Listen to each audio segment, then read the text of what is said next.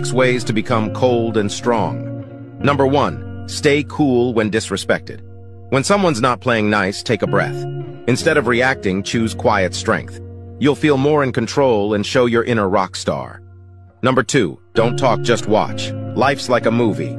Before jumping in, watch the scene. You'll make smarter choices and impress even yourself. Number three, stop caring, let it go. Got grudges? Drop them.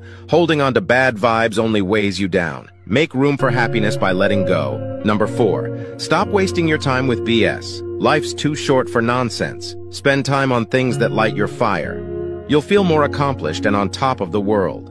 Number five, stay calm in stressful situations. Stress is like a storm, but you've got an umbrella. Stay cool in tough times. You'll find solutions like a superhero. Number six, no need to explain everything. You're a shining star and stars don't explain themselves. Live your truth without overthinking.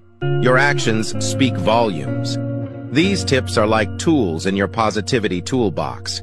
Keep practicing and you'll become a pro at staying strong and rocking a positive vibe.